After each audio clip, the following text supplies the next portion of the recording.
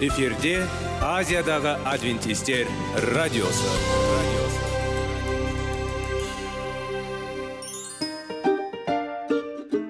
Сәлем достар. Денсаулық өмір бұлағы және біздің бірінші байлығымыз демекші денсаулық сағаты рубрикасына қош келдіңіздер. Біздің рубрикада біз әртүрлі факторларменен мәліметтерменен кеңестерменен бөлісіп шын жүректен сіздердің дендеріңіз сау болғанын қалаймыз. Сол үшін біздің рубрикаға қош келдіңіздер. Дайындалып тұрыңыздар. Өйткені келесі минуттарда қызықты фактілерге ие боласыздар. Енді достар ең бірінші байлығымызды қолымызға алып алға кеттік.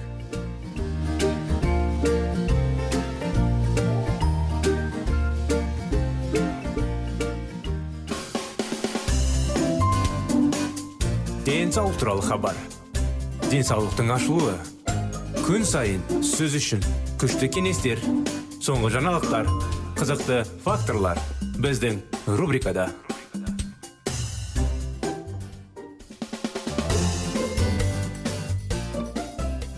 Сәлем достар. Сәлеметсіздер ме біздің құрметті радио тыңдаушыларымыз? Біздің денсаулық бағдарламамызға қош келдіңіздер. Сіздерлер назарларыңызға салауатты болу салауатты өмір салты тақырыптарында шындық сізді бос қылады деген тақырыпшаға келдік. Адам түрмеден босатылады. Көп жылдар бойы бардым және қапқаға шығып айналасында қарап содан кейін аспанға және қатты айқалады. Еркіндік еркіндік ұшы. Шын мәнінде бұл адам бостандыққа ие болды ма? Ол оралды туған қаласына туған үйіне туған туыстарымен кездесті. Барлық тамаша болды белгілі бір уақытқа дейін. Адам еркін өмірге үйрене бастады. Қайтадан ескі достарымен кездесіп жаңа адамдармен танысты. Осылайша жыл өтті. Содан кейін ол кешкі уақытта қыдыре бастады. Кеш оралды немесе мүлдем ұйықтамады. Үйде жиі ішімдік ішкен әйеліне айқалаған балаларын ұрған отбасындағы ақауыл өте қиын болды. Бір күні таңертең бұл адамның үйіне біреу тоқылдатты. Сондықтан полиция келіп оны қамауға алды қылмысқа. Ол қайтадан түрмеге түсті. Бұл адам осы бостандықты заңдарын бойынша өмір сүрмеген. Ол алкогольдің темекі шегудің осындай өмірлерін түсіріп және басқа да әдеттер жасап сондай ақ достар шеңберіне байланысты оған нашар әсер етті. Біздің еркімізге қарсы немесе мен басқаша бола алмаймын. Себебі бойынша бірденеге немесе бағыну біз еркін емес дегенді білдіреді ме? Бұл сонда болып табылады ма еркіндік? Өйткені біз көптеген заттардан мұқтажбыз тамақ тамақтану ұйқы күн сәулесі бұл жақсы және табиғи. Бірақ адам өзінің құмарлығына немесе әдеттеріне бағынғанда және олардың ықпалымен жалпы қабылдаған адам қағидаларына қайшы келетін іс әрекеттер жасайды. Бұл адам тәуелді деп аталады.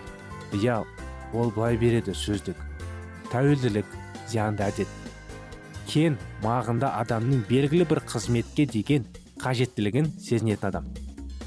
Термин жиі мұндай құбылыстар үшін қолданылады. Дәрілік тәуелділік нашақорлық бірақ қазір химиялық емес тәуелділікке қолданылады. Мысалы интернет тәуелділік ойын шапоголизм психогенді тамақтану фанатизм және тағы басқалар. Еркін мінез құлық деп атауға болады. Ол белгілі бір заңдарға сүйеніп шешім қабылдаған кезде. Бұл заңдар болуы мүмкін. Бір нәрсе бостандықты шектейді. Бірақ шын мәнінде олар мүмкіндік береді бақытты өмір сүру және қуанышпен бөлісу айналасындағылармен. Еркін болу? Біз қалайтынымызды және қалайтынымызды білдірмейді.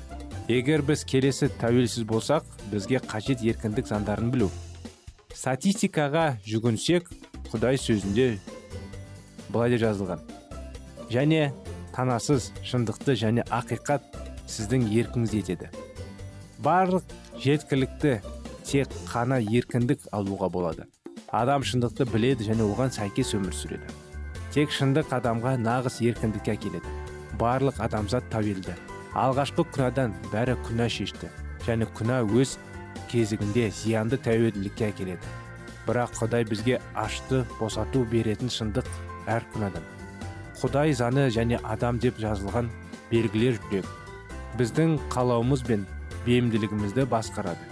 Ақиқат келі кітапта кім көрсетеді шындықты иса оған айтты мен жолмын және шындықмын және өмірімін дейді тәуелділік түрмеге қамауға ұқсас бірақ бұл камераның кілті бізде бар біз оны аша аламыз жүректің есігі исаға бізге көмектесуге мүмкіндік береді ол жеңуге күш береді барлық тәуелділік өмір сүріп отырған тыңдаудың сандарында алланың білетін өмірдің мәні мен қуануда әрбір күні. Осының болсын шындық жасайды сіз дұрыс өмір сандарына мойынсыну еркін. Алыңыз өз өміріңізді бақылауға алып көмектесіңіз сізге жақын адамдарыңызға да. Құдайға сену және қызмет ету басқа табуға көмектеседі. Сізге қуаныш бейбітшілік және шынайы бақыт. Адам еркін сүйгіш. Адамдар таба ма деп айту қиын оларды бостандыққа шектеуді қалмаймын. Алайда біз оны түсінбейміз. Түрлі құмарлықтың құлынан айналамыз. Біздің өзімізде берік ұстап тұратындар тұтқында. Сол немесе өзге де тәуелділікке түссе адам барлық нәрседен кетуге тырысады. Әртүрлі көмекке жүгіну арқылы ауырсыну тудырады. Химиялық заттардың қызметті немесе өзара қарым қатынас бұл болуы мүмкін. Алкоголь темекі шегу есірткі тамақ сатып алу гаджеттер интернет компьютерлік және құмар ойындар жұмыс ақша жүйелі өтірік ашу тәуелділік мәселесі олар қабілетті. Біздің ойларымызды сезімдерін меңгеру эмоциялар көрсету біздің мінез құлқымызды басқару. Ауыр бауыр бірдене немесе біреу өмірлік күш алады. Тиімділік пен нәтижелікті төмендетеді өзара қарым қатынасты бұзады. Арала сезімдерді сезіну күнәсін. Ұят қорқыныш үрей. Сәтсіздіктер. Әртүрлі тәуелділік қазіргі қоғамның маңызды қиыншылықтары болып табылады. Көптеген адамда мойындай алмайды. Олар шын мәнінде өз тұтқынында бұл кедергі болғаннан қарамастан. Құмарлық өмірде тек өзі ғана емес айналасындағылар да бар. Осы нөмір аясында біз қалай танығаны туралы айтуға тырыстық. Өзіне тәуелділік пен құтқару бастау. Жастарға арналған материалдар аз емес балалармен дұрыс қарым қатынас жас жігітке қалай көмектесетінін білу өте маңызды. Ұрпаққа болдырмау ақауларының жетекші қаза тапқан. Ол үшін ересектерді өзі де он үлгі беру керек. Зиянды құмарлықтан бос мінез құлық. Өйткені біздің ықпалымызға қандай біздің отбасы мен қоғамның болашағы болады жалпы алғанда. Құдай әр адамға берді таңдау мен еркіндікті. Бірақ бұл еркіндік емес теріс пайдалану. Таза еркіндік тәуелділікке емес кездейсоқ тәуелділікпен тартылымды. Мінекей құрметті достар осыны анықтамалар әрдайым құдай бізге еркіндік береді дұрыс өмір сүруге дұрыс денсаулық күтуге. Сондықтан бағдарламамыздың тақырыптарын жалғасын келесі жолы жалғастырамыз. Келесі жолға дейін сау саламат болыңыздар.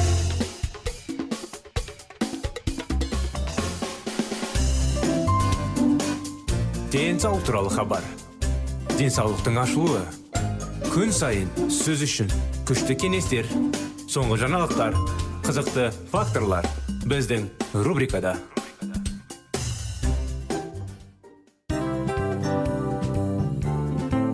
Әуелі байлық денсаулық екінші байлық он саулық үшінші байлық ақ жаулық ал енді осындай радио парақшадан кейін не дейміз? Барлықтарыңызға денсаулықтарыңыз зор болсын деп тілейміз. Денсаулықтың өзгеруі кішкентай нәрселерден басталады. Осымен біз берген кеңестер мен мәліметтер шын жүректен сіздер үшін қандай да бір болсын жәрдем берді деп үміттенеміз.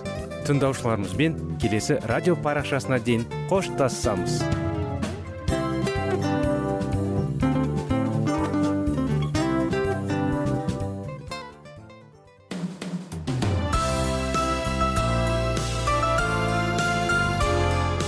эфирде азиядағы адвентистер радиосы.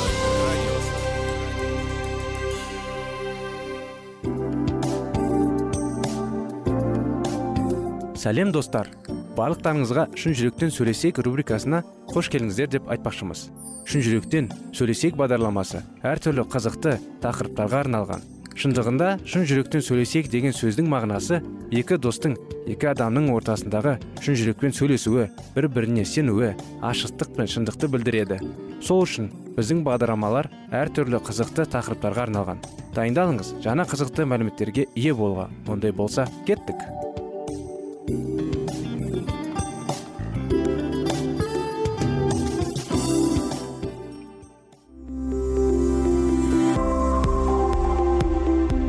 Алтын сөздер. Сырласу қарым қатынас жайлы кеңестер мен қызықты тақырыптар. Шын жүректен сөйлесейік рубрикасында.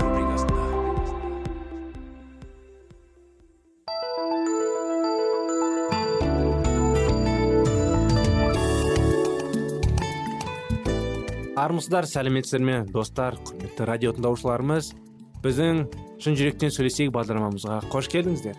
Сіздерменен бірге баланың жүрегіне бес қадам тақырыбын жалғастырудамыз.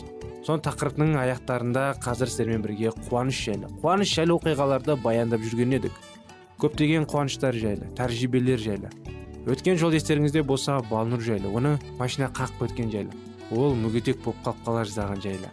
Сол үйіне қайтып біраз дәрі дәрмектер қабылдап ештеңке көмектеспей ата анасы оларды әрине дұрысы балнұрды басқа бір емдейтін жерге апармақшы. Соны рұқсатын сұрап әрине балнұр келісім шартын маматай шынымды айтсам мен ешқайда барғым келмейді. Бірақ егер бару керек болса мен келістім деп айтқан еді. Жарайсың қызым сен осындай қайратты болып қандай да қиындықтарды жеңе білуің керек. Түсінесің бе? Балнұр мамасына айтқандарын жақсы түсінеді. Сөйтіп мамасымен бірге жолға жинала бастады.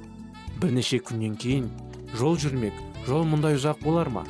Ми қайнатар ыстық аптап ыстық аңызақ жел жолдың бұрқыраған шаны олардың әбден титығына тиіп тынышты кетерді. Осы аймақтың жазы осындай. Міне діттеген жерге де келіп жетті. Келесі бұрылыстан бұрылған соң теңіз жағалауы басталды. Ұшы қиырына көз жеткізсез көгілдір теңіз жағалауына ауа да тамаша. Осындай табиғатты тамылжып тұрған жерге отбасы мүшелерімен бірге келіп демалғаны қандай ғанибет болар еді?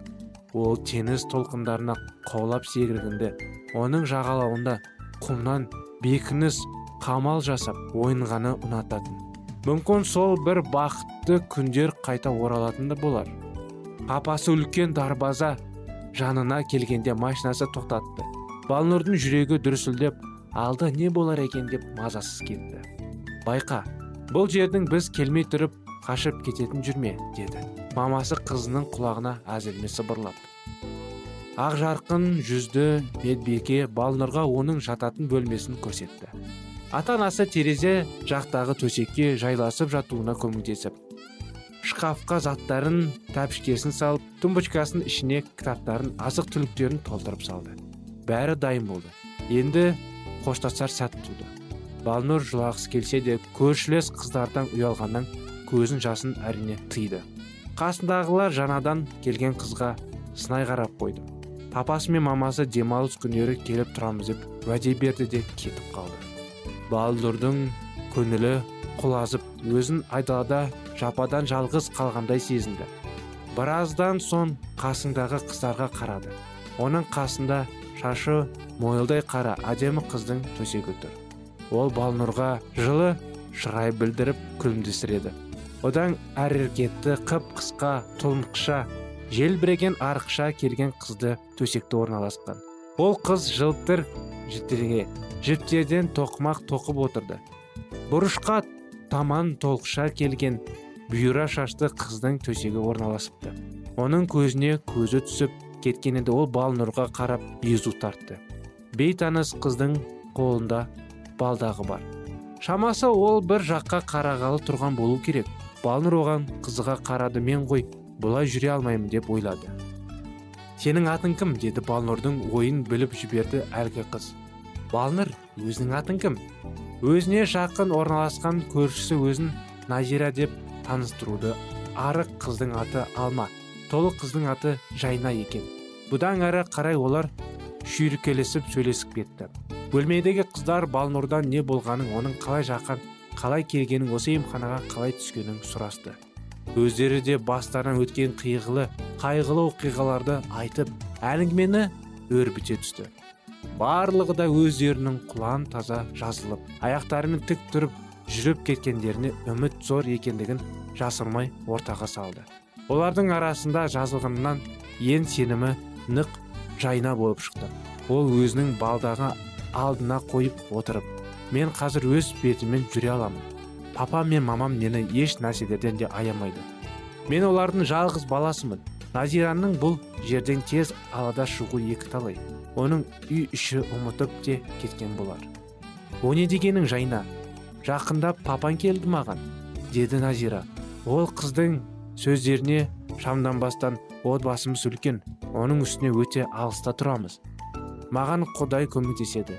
Мен оған қалтқысыз сенемін. Әлі көре жатармысыңдар қыздар бәрі де жақсы болады. Жайна оның көздерін жақтырмай күн кете түсті. Құдай көмектеседі деді. Мұның бәрі ертегі. Мен ата анама сен туралы айтқанымда ол кісілер де солай деді. Балнұр кіммен достасуға болады екенін деген пиғылмен қыздардың әрқайсына бағдарлай қарап отырды. Олардың барлығының жастары балнұрмен шамалы сынайлы. Бірақ мінез құлықтары әртүрлі еді. Әлі уақытта көрсетер балнұр төсегіне жан тайып жатып кітап оқуға тырысты. Көп ұзамай олардың бөлмелеріне түскі ас әкелді. Ақ жарқын мінезді медбикелер қыздардың үстел жанына орналасушылардың жәрдем беріп бәйік болып жүр. Теңіз жағалауындағы емханадағы күндер осылайша басталды. Бірте бірте балнұр толғыз қыз толық қыз. Жайнаның шадыр мінезі тәкаппар екендігі ұзын тұра алманың селқос мінезді қыз екендігі аңғарды. Ал көршілес төсекте жататын назираның жайдары да ақ жарқын мінезі оны баурап алды. Балнұр онымен достасып кетті. Жаңа досы балнұрға түрлі суреттермен безендірілген балаларға арналған киелі кітапты және бір топ кішілердің журналдарын көрсетті. Бұл басылымдар ол екеуінің ортақ кітапханасы айналды. Кешкілікке назира өз төсегіне жайласып жатып алып қыздарға өзінің ынтамаға жарасқан отбасы мәсіхшілердің жазғы лагерь туралы әңгімелейтін. Осы оқиғаның аяғы аяғына келмеді әлі құрметті достар. Әрине келесі жолы сіздерге керемет оқиғаны жалғастырып береміз. Бағдарламамыз аяғына келді. Өкінішке орай келесі жолға дейін сау сәлемет болыңыздар.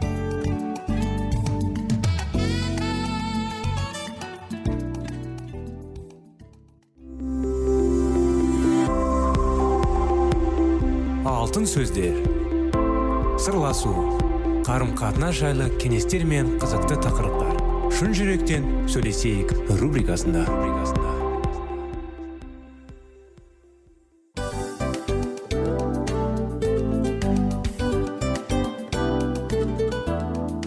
Құрметті достар барлық ең соңғы кеңестер аяқталған соң біздің программамыз соңына келіп қалды.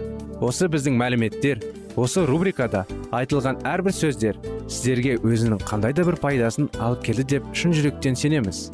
Және бұдан да көптеген рубрикаларымыз бар. Басқа рубрикаларымызда біздің зерттеулерімізде сіздер үшін тағы да қызықты мәліметтер дайын. Біздің шын жүректен сөйлесейік парақшамызда көптеген әдістер ең соңғы кеңестер адамның нравственность жақтан моральдық жақтан тазалап байыта тұрған соңғы кеңестердің барлығын жанарады. сондықтан алдыңғы күндерде бізбен бірге болыңыздар. Өйткені барлық қызықтар алдыда. Бізбенен бірге болғандарыңызға үлкен рахмет. Келесі кездескенімізше сау сәлемет болыңыздар.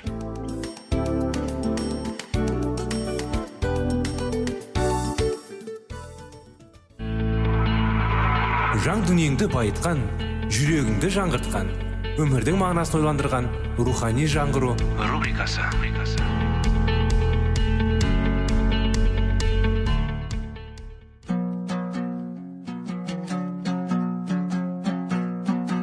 Ассалаумағалейкум.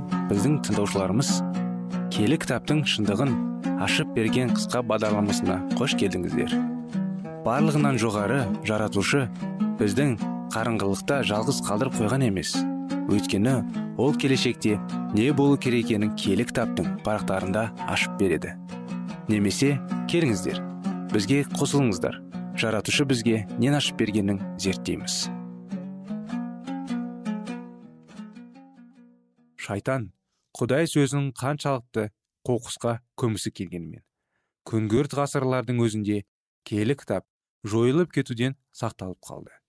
Кейбіреулер киелі кітаптың мағынасын өзгеше түсіндіріп оған өзгерістер енгізгісі келген. Дегенмен олардың балтасы тасқа шабылып дегендері орындалмады. Себебі бұл кітаптың авторы жаратушы құдай ие.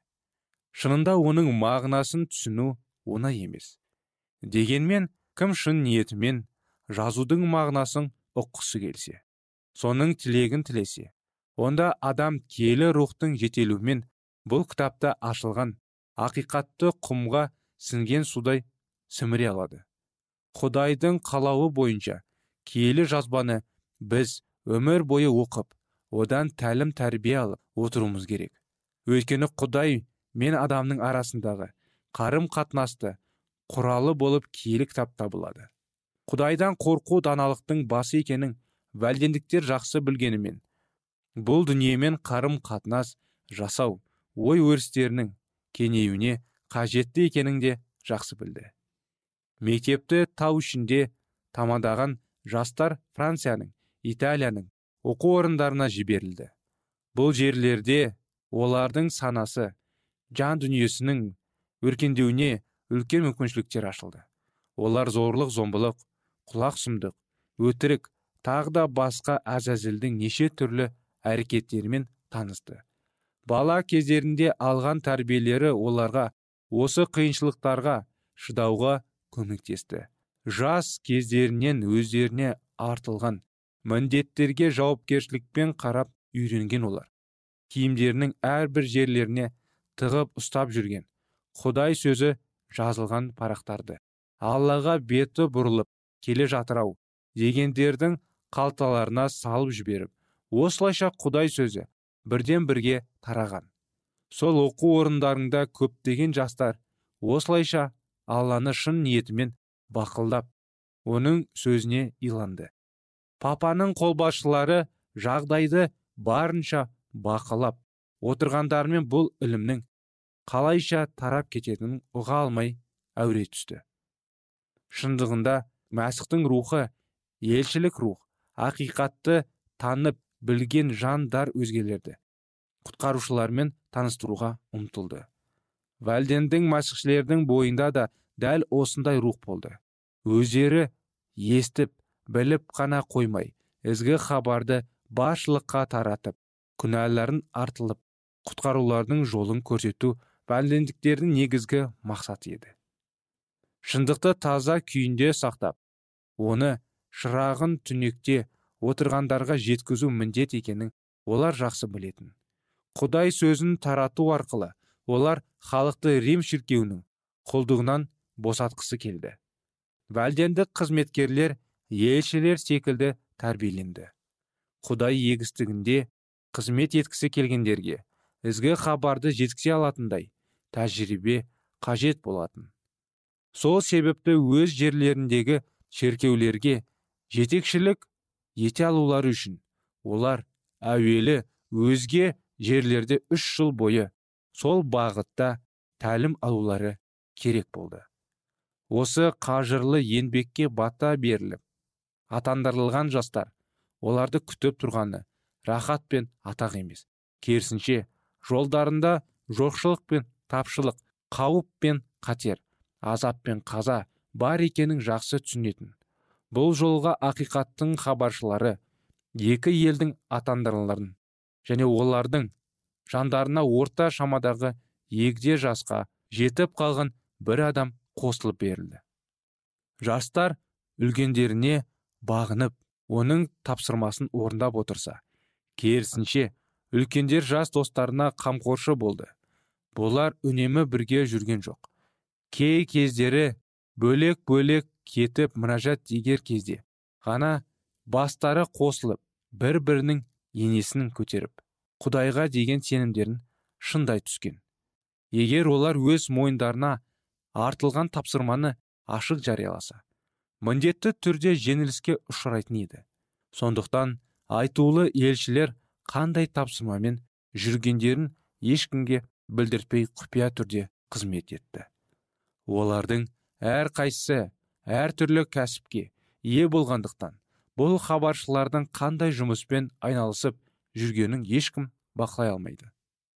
Ақиқатты уағыздаушылардың көпшілігі саудамен айналысып адамдарға алтын мен алмастан да артық қазынаны сыйлаған.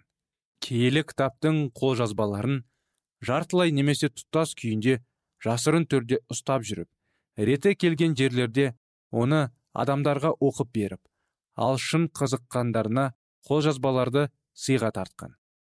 Бастапқы кезде бұл хабаршылар маңындағылармен жұмыс істесе кейін олардың еңбектеген жерлерінің шекарасы кеңейді. Үсті бастарын шан басқан жалаң аяқ жолаушылар жер жерге жүріп отырып шеткері жатқан мемлекеттер дейін жетіп құдай сөзінің тұқымын барлық жерлерге еккен. Олар жолдарында азап пен қаза барына көңіл аудармай құдайға адал қызмет етуге тырысқан. Қиямет күні бұл ақиқаттың қарлығаштары еңбектерінің жемісін көретін болады. Осылайша құдай сөзі ел елге құпия түрде тарап халықтың жүргіне ұялған. Келі кітапты зерттей отыра вәлдендіктер ежелгі уақыттағы құдайдың адамдарымен жасаған қарым қатынасын айқын көрген және нақты нақтылы. Кездегі де өздерінің мақсаттарын дұрыс ұққан. Сондай ақ болашақта да адамзаттың жолында қандай қатер барын білген. Оның соны даңқпен аяқталатынын да түсінген. Олар қиямет күнің жақын екенін сенген. Киелі кітапты мұнажат ете және көз жастарына тұншыға отыра зерттеп ондағы ақиқаттарды бойларына сіңіріп сіңірген сайын өзгелермен де сол қызметімен қазынамен бөлгісілері келді. Вәлдендіктер киелі кітапты жақсы түсінгендіктен құдайдың адамзатты құтқару жолындағы жоспарының маңызды екенін жақсы білетін және сол білімдері оларға тыныштық пен үміт сыйлаған. Олардың басты мақсаты рим папасы және оның қарамағындағы дін оқытушылардың жалған ілімін әшекерлеу еді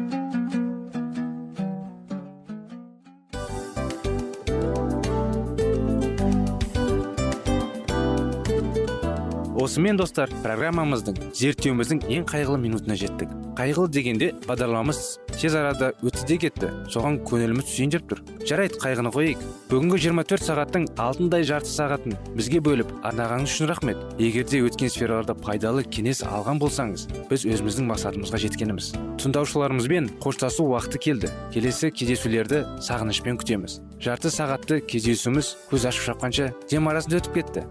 Бірақ бізде жақсы хабар бар. Келесі зерттеулерімізде сөзсіз кездесеміз. Өйткені көптеген сюрприздер қызықты мәліметтерді және керекті нәрселерді көбін дайындадық.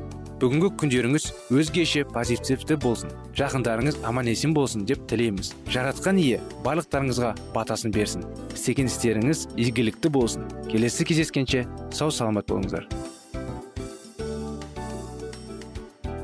Достар біздің базарма бойынша сұрақтарыңыз болса әрине сіздерге керекті анықтама керек болса біздің whatsapp нөмірімізге хабарлассаңыздар болады. Плюс бір үш жүз бір жеті жүз алпыс алпыс жетпіс. Иә достар сіздер қателеспедіңіздер бұл біздің номерлерге ұқсас болмаса да бұл whatsapp номер арнайы. Хабарласыңыздар сұрақтарыңызды қойып тұрыңыздар анықтаманы алып тұрыңыздар. Плюс бір үш жүз бір жеті жүз алпыс алпыс жетпіс whatsapp номері